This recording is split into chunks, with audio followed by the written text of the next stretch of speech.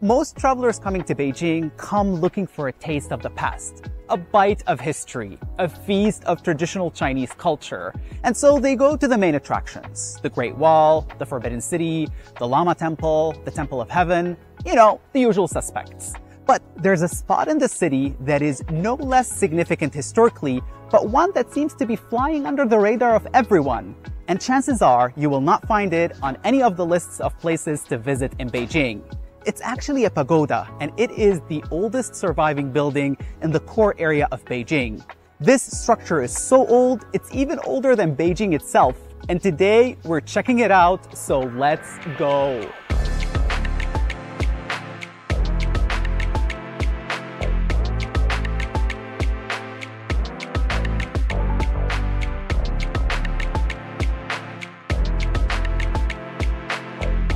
So our story today takes place in one of the previous lives of Beijing, over 900 years ago in the early 12th century.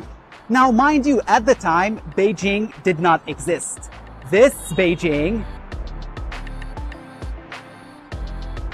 didn't start to take shape until the 15th century during the Ming Dynasty. And let me show you something super interesting. You see this river? This used to be a moat during the Ming and Qing dynasties, basically part of a fortification system that protected the old city of Beijing from invaders. Now, a few meters down would have been the city walls. They don't exist anymore, but that's where they would have been. And inside the city wall would have been, well, the city. Now look where I'm standing. This is the river. I'm standing outside of it, which means I'm standing outside of the moat, which means that I'm standing outside of the old city, which means that I'm technically not in Beijing. Gasp!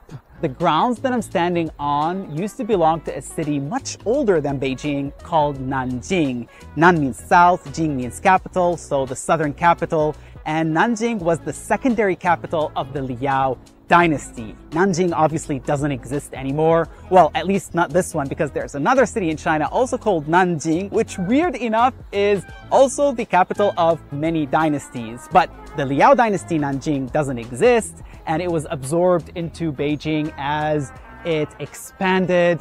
But it's so interesting to think of a time when here wasn't Beijing. And it's in Nanjing that our destination is, the pagoda of Tianning Si or Tianning Temple, that way.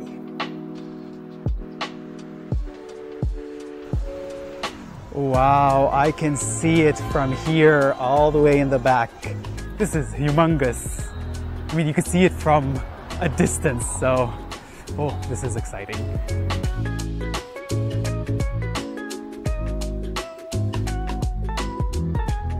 The Tianning Temple and its famous pagoda. It's even outside on the plaque.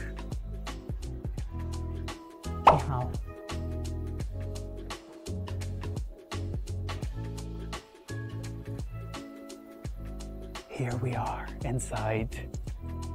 It is so peaceful. Almost no one very few people. I honestly I'm gonna skip the temple here, at the tour, and I'm gonna go right to the main attraction.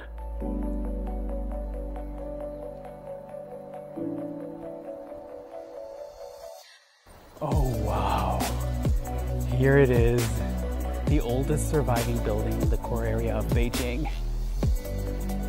What a beauty.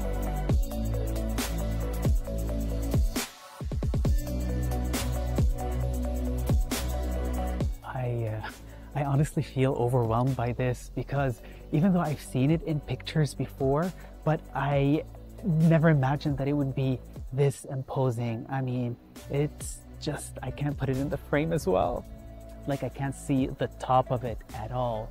It is 57.8 meters, one of the tallest at the time, even up to the Ming and Qing dynasties.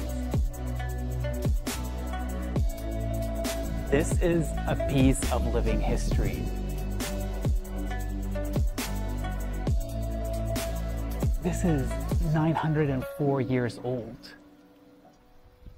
And it's still standing to this day in its original build. Like how? Wow. And the details on it, the ornaments, so intricate. Look at the dragons at the bottom, just in rows, one after the other. And then the guardians of the Buddha, they look so animated. They're big, huge, protecting the Buddha in the middle. And they look scary actually. You can see that some parts of the stones have fallen, but that's just the wear and tear of old age. And you see the lotuses here in three rows. And on top, the 13 layers of eaves. You guys, there are wind chimes at the bottom of the eaves and I was reading that there's 3,400 of them and now that there's a bit of wind blowing, I was able to hear them. I can't hear them right now because they don't work on command, but I definitely heard a little bit of a ding sound not long ago. Let's see if it's gonna work. Do one for the camera, please. Yeah, it's not gonna work. This is what's called a solid pagoda, which means that it's a block of bricks. It's just a stone structure. There are no doors to get you in. There are no stairwells that can bring you all the way to the top. And even though at some of these facades there are some windows, these are just for artistic purposes and really serve no function.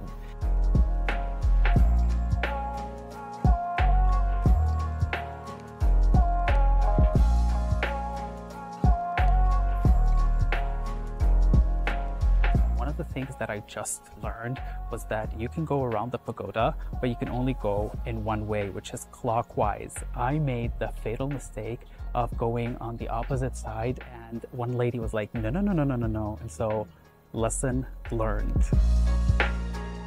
The Tianning Temple Pagoda has a very interesting history. For a very long time, it was thought to have been built during the Sui dynasty, which came before the Liao dynasty in the late 500s and the early 600s. That was the historical understanding during the Ming and Qing dynasties until 1935 when an architect couple flipped the script on its head and said, wait a minute, let's reconsider that.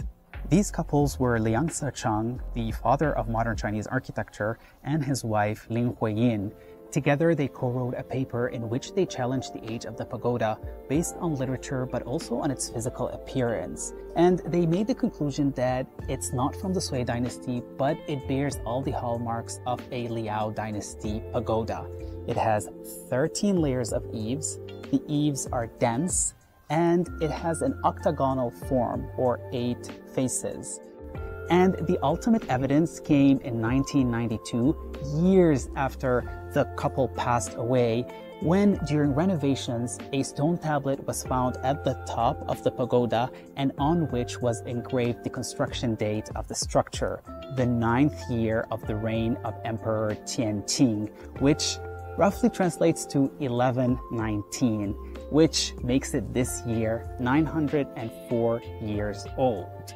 Not as old as we originally thought, but at over 900 years, it's still pretty impressive. And mind you, this pagoda is still maintaining its original form. It's virtually untouched, which couldn't be the same for the grounds of this temple because the Tianning Temple, even though it has a much longer history than the pagoda itself, it has been rebuilt, renovated, burned down, restored, expanded, shrank over the years, and much of what we see today is actually from the Qing dynasty.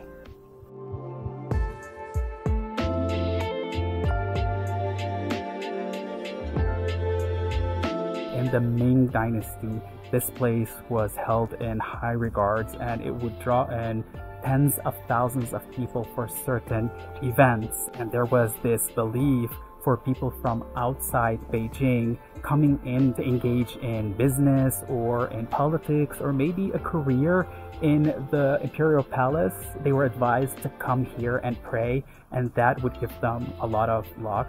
And there is another saying at the time that if you pray here, luck would be passed down three generations. Now, I didn't pray, but I'm hoping that some of the luck in the air would rub off on me and by extension you guys. Take as much luck as you want. But you can't speak about the Tianning Temple Pagoda without speaking about this chimney, which is really hard not to notice. But for that, we need to go outside.